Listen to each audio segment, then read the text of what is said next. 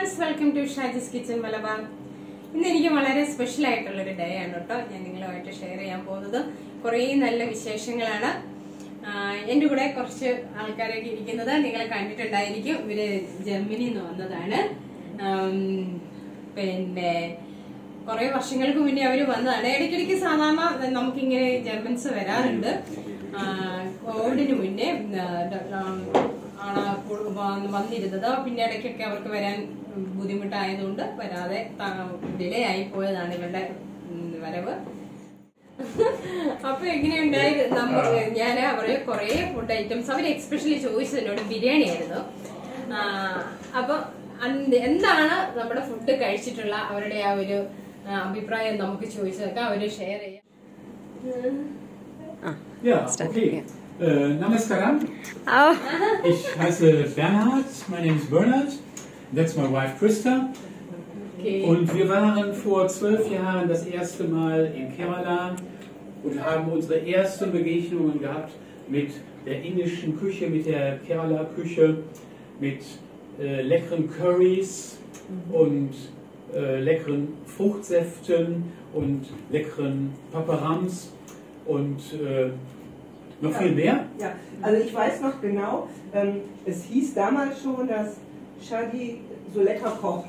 Und wir haben dann äh, auch Biryani zum Beispiel kennengelernt. Und seitdem wir da damals hier waren, habe ich zu Hause auch mal versucht, Biryani zu kochen, weil ich mir ein Kochbuch gekauft habe mit äh, indischen Gerichten. Und äh, deshalb habe ich mich besonders gefreut, dass wir hier heute ähm, eingeladen worden sind zum Biryani essen. Und das war total lecker. Damals, vor zwölf Jahren, hat Shadi noch ganz privat für uns gekocht. Jetzt hat sie auch wieder privat für uns gekocht. Aber sie hat jetzt einen anderen Back- Background. Sie hat Shadi's Kitchen, ein hervorragendes Restaurant, wo morgens immer frisch Gebackenes kommt aus Shadi's Küche. Thank you.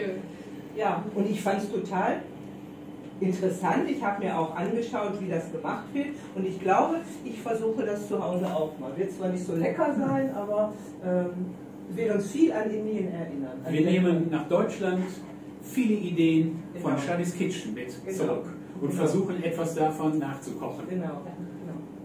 Jetzt kommt Ja. Pine.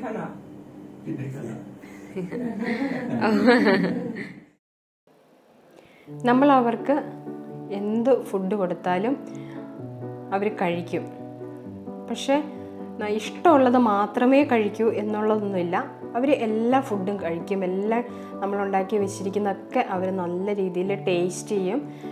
എരിവ് അധികം അവർക്ക് ഇഷ്ടമില്ല. അവർ നമ്മളെ വിഷമിപ്പിക്കേണ്ട എന്നും കൊണ്ട് അവർ പറയും spicy ആയാലും കുഴപ്പമില്ല കഴിച്ചോളാം എന്നൊക്കെ പറയുമെങ്കിലും നമുക്ക് അറിയാം അവർ സ്പൈസി ഫുഡ് കഴിച്ചു കഴിഞ്ഞിട്ട് അവർക്കൊരു ഭയങ്കരമായിട്ട് ആ എരിവിന്റെ ഫീൽ ചൊടിയൊക്കെ ചുമന്ന് മുഖമൊക്കെ ചുമന്ന് വരുമ്പോൾ നമുക്കൊരു ഇതൊരു വിഷമാവും അതുകൊണ്ട് നമ്മൾ മാക്സിമം എരിവ് കുറച്ചിട്ടുള്ള വെജിറ്റബിൾസാണ് കൂടുതൽ കൊടുക്കുക. പിന്നെ നോണായിട്ട് കൊടുക്കുന്നത് ചിക്കനാണ് കൂടുതലും അവർക്കിഷ്ടം. വെജ് അവർക്ക് നല്ല ഇഷ്ടമാണ്. പിന്നെ ഡെസേർട്ട്സും അതുപോലെ തന്നെയാണ് അവർ ഒരുപാട് ഇഷ്ടപ്പെടുന്നതാണ് ഡെസേർട്ട് പിന്നെ അവർ ചോദിച്ചിരുന്നത് ബിരിയാണി ആയിരുന്നു. അവർക്ക് വേണ്ടിയിട്ട് ഞാൻ നല്ല ദം ബിരിയാണി റെഡിയാക്കിയിട്ടുണ്ടായിരുന്നു അതും അവർ നല്ല ആസ്വദിച്ച് കഴിച്ചു. ചിക്കൻ സൂപ്പ് പിന്നെ ഗോബി മഞ്ചൂരിയൻ. ചിക്കനും വെജും ഒക്കെ ബേക്ക് ചെയ്ത് ഏരി മസാലയൊന്നും ചേർക്കാതെയാണ് റെഡിയാക്കിയത്. പിന്നെ അവർ ഒരുപാട് ഇഷ്ടപ്പെട്ടതാണ് ഫിഷ് പൊള്ളിച്ചത്. അത് വളരെ എന്താ മൈൽഡായിട്ടുള്ള സ്പൈസസ് ഒക്കെ ഇട്ട് നല്ല തേങ്ങാപ്പാലിലോ വലിയ ഉള്ളിയിലൊക്കെ വഴറ്റി ആണ് അവർക്ക് കൊടുത്തത്. അതവർ നല്ല ആസ്വദിച്ച് തന്നെ അവരത് കഴിച്ചു. അവർ പറയുന്നത് നമ്മുടെ ഇന്ത്യൻ ഫുഡ് അവർ നന്നായിട്ട് ആസ്വദിക്കുന്നുണ്ടെന്നാണ്. അവരൊരിക്കലും പ്ലേറ്റിൽ ഒരു സാധനം ഇങ്ങനെ നമ്മളെപ്പോലെ ഓവറായിട്ട് വേസ്റ്റാക്കി ആക്കി നമുക്ക് ഇഷ്ടമില്ലെങ്കിൽ നമ്മൾ അപ്പം തന്നെ അതങ്ങ് വേസ്റ്റാക്കി കളയുക ഒരുപാട് ഫുഡ് നമ്മൾ വേസ്റ്റ് ആക്കില്ല നമ്മൾക്ക് ഇവരുടെ കൂടെ ഇരുന്ന് ഫുഡ് കഴിക്കുമ്പോൾ നമുക്ക് ശരിക്കും മനസ്സിലാവും. അവരൊട്ടും അവരുടെ പ്ലേറ്റിൽ നമ്മൾ ഫുഡ് സെർവ് ചെയ്താൽ അവരത് വേസ്റ്റ് ആക്കില്ല അവർക്ക് നമ്മൾ അതായത് ആദ്യമേ തന്നെ അവർ പറയും അവർക്കെല്ലാം ടേസ്റ്റ് ചെയ്യേണ്ടതുകൊണ്ട് കുറേശ്ശേ ഫുഡ് ഇടാവുള്ളൂ എന്ന് അവർ പറയും. അത്രയ്ക്കും ഭക്ഷണത്തെ അവർ ബഹുമാനിച്ചാണ്. അതിന് നല്ലൊരു വില കൽപ്പിക്കുന്നുണ്ട്.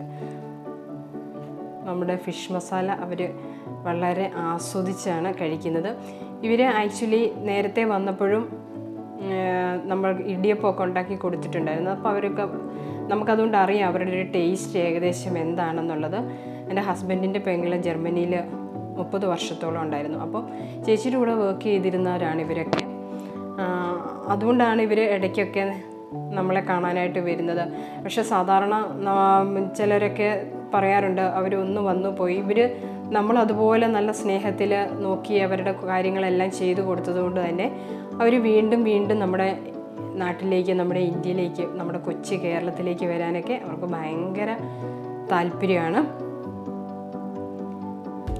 ഞാൻ പറഞ്ഞല്ലോ. അവർ എല്ലാ ഡെസേർട്ടും ഞാൻ അവർക്ക് കൊടുത്തിരുന്നത് ബ്രൗണിയും പിന്നെ പൈനാപ്പിളിന്റെ പുഡിങ്ങുമായിരുന്നു. അതവർ നന്നായിട്ട് ഇഷ്ടപ്പെട്ടു. അവർ നല്ല കമൻസൊക്കെ പറഞ്ഞു. അവർക്ക് കൊടുത്ത് അവർ കഴിച്ചതിന് ശേഷം അവർ തന്നെയാണ് നമ്മളോട് ഇങ്ങോട്ട് ഓരോ കമൻസൊക്കെ പറയുന്നത്. അങ്ങനെ വളരെ ഹാപ്പി ആയിട്ടുള്ളൊരു ദിവസമായിരുന്നു. ഇവരെ കൂടുതൽ വിശേഷങ്ങളുമായിട്ട് പുതിയൊരു വീഡിയോയിൽ നമുക്ക് വീണ്ടും കാണാം. അപ്പോൾ നിങ്ങളുടെ കമൻസ് ഒക്കെ അറിയിക്കുക. ആദ്യമായിട്ട് ചാനൽ സബ്സ്ക്രൈബ് ചെയ്യുക. Thank you share and subscribe Shaji's Kitchen Malabar.